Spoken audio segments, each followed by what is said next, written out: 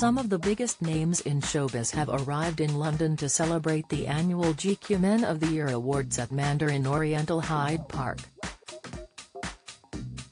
The star-studded event pays tribute to the giants of entertainment, sport, politics and fashion, with honorees at this year's awards including Zoe Kravitz, Louis Theroux, and Stormzy. Actresses Suki Waterhouse and Salma Hayek stole the show as they arrived at the red carpet in glamorous outfits.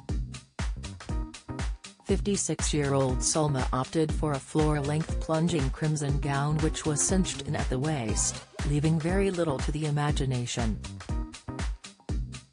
The dress featured a bow detail which drew attention to her cleavage. She wore her chocolate brown hair in loose waves and accessorized her look with a pair of silver drop earrings.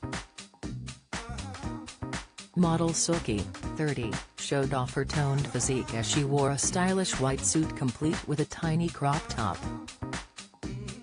She added to her height with a pair of pointed white heels. The actress wore her long blonde hair in a blown-out style and opted for glamorous makeup look. She finished her outfit with a classy silver necklace. Also at the event was Sydney Sweeney who channeled her inner Jane Fonda for her red carpet appearance, after it was confirmed she would be playing Barbarella in an upcoming film. Barbarella, a 41st-century astronaut, was first played by 84-year-old Jane in 1968 and it seems Sydney has taken inspiration from the leading lady for her latest look. Sydney's film will be based on Jean-Claude Forest's French comic book series which was turned into a cult movie classic by director Roger Vadim in 1968. As well as taking on the leading role, she will also serve as one of the executive producers on the project. She opted for a long black dress which featured a cutout across her midriff and a stylish split by her legs. Sydney wore a metal bodice underneath and opted for black and white eyeliner. James McAvoy made an appearance on the red carpet as he posed for pictures with his younger sister Joy McAvoy. He beamed for the cameras as he showcased his dapper suit. Joy also looked stylish in a short black dress which was complete with a diamante trim.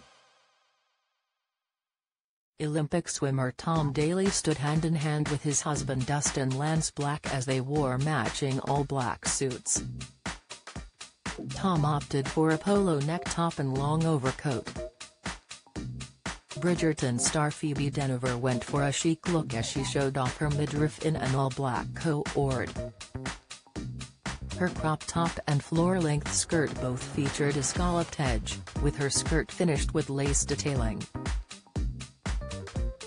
The actress paired her outfit some stylish strappy heels and wore her hair pulled back in a ponytail. Do you have a story to sell? Get in touch with us at webcelebs at or call us direct 0207 29 33 033.